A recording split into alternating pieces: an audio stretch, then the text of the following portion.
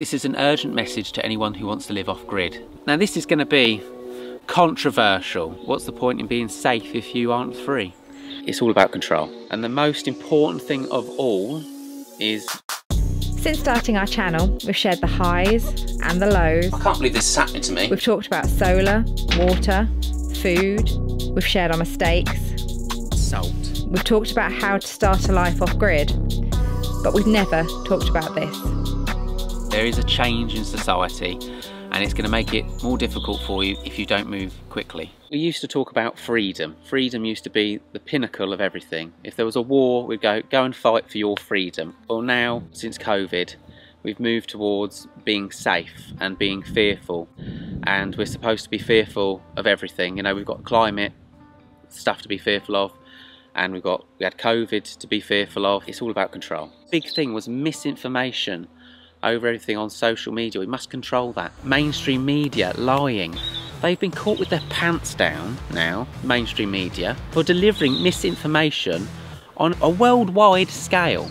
And what's happened? Nothing is happening. Nothing's happening. The masks, you know, they started off saying they don't work to stop a virus, which everybody knew a paper mask doesn't stop a virus. Especially on a cold day, we can see water vapour coming out of it.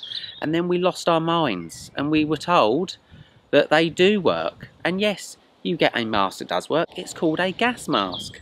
They were paper. They don't work. And people went along with it.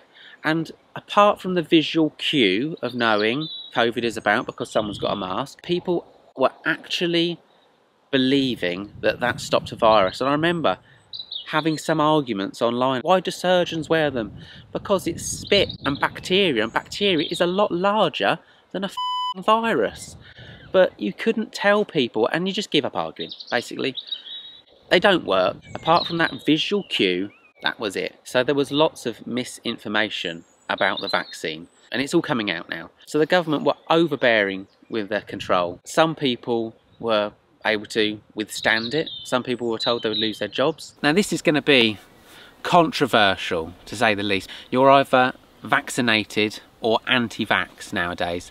It's totally polarised. What about those people that want to make a decision not to have some things that they perhaps don't need and others that they might need?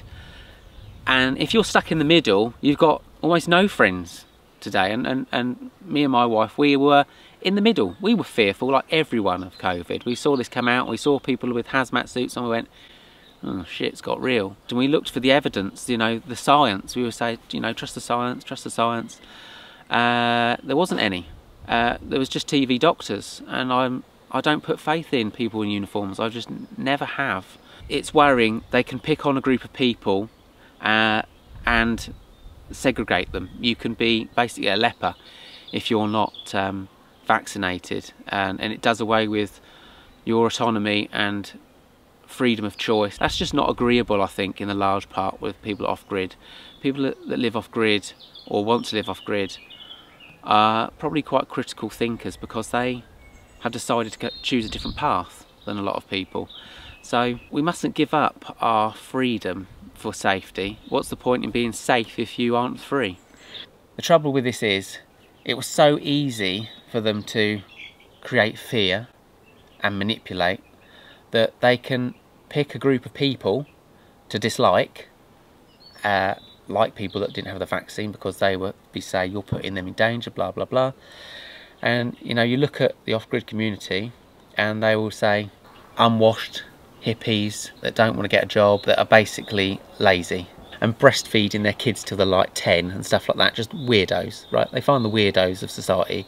They find any weirdos that are living off grid and they put them on camera it's media manipulation people when they were at home sitting in their little box all that time they're thinking is this what my working life has brought me is this what there is to it when I get locked down I'm here and just like the year of resignation, when people worried about their safety, going to work every day and think, sod it, I've got money, I can retire. People were sitting at home thinking, there's got to be more than this. I'd like to have a bit of countryside around me. I'd like to have uh, my own supply of things when things go wrong. And that's why they did it. They knew that people would be thinking that way, and that's why they've made it more difficult. if enough of us do this, we can have all these things. You know, if you move quickly and you research, you buy your land, you find whichever way possible to get and live on that land, we can have this, we can all have this, and more of us need to do it because things are coming that are going to try to lock you down again. You know, these 15 minute cities, that's not for your convenience. Most of us are going to give up all our rights for convenience, but when they want to lock you down, and it will be something like climate lockdowns, they'll be able to say you're locked down in your zone, if not in your house, definitely in your zone with these 15 minute cities. You don't want to be there. You don't want to be that guy. You want to be free. And if you'd like to see how off-grid life can bring you freedom, check out this video here.